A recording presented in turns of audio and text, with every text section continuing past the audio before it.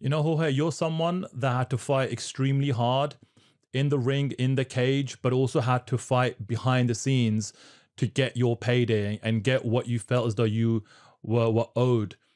I'd love to get your reaction to Francis Ngannou getting the bag with this Tyson Fury fight. What is your reaction to that news? I mean, I love it. Whoever, I, I'm trying to think if any champion's ever been released while being a champion. I don't, I don't think so. Not from the UFC.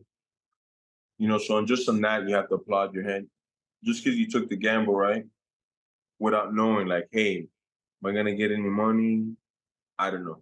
Then not only is he guaranteeing himself money with the PFL, but he's also gonna get this boxing money.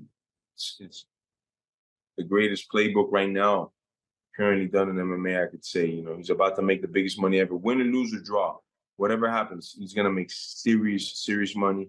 And then if it doesn't work out for him as we're all expecting it not to, he could always go back to MMA at the PFL and, and do his thing. So I think she hit a hell of a gold pot for himself there. Yeah, I mean, I'm still kind of like confused whether this is going to be just the only guy of... that made the only guy that was has more of a money grab than him is a guy by the name of Lee Murray. He did like the biggest heist in uh, history, and I don't know how many 170 million dollars he sold. That guy's the only guy in MMA that, that, that hit a bigger heist. But what Francis just did right now is is crazy, you know, like insane, bro, that he pulled that off.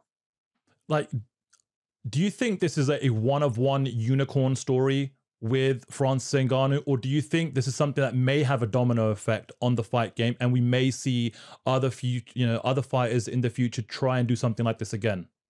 Combination. Combination. I think people will try. I think people definitely definitely know, spark a movement for more people going towards it. I think knowing that that's now available.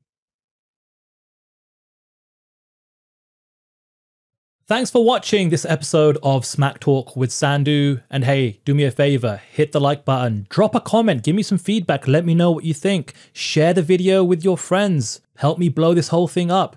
And hey, if you really enjoyed it, subscribe to the channel for more conversations, more interviews, and more amazing video content coming soon.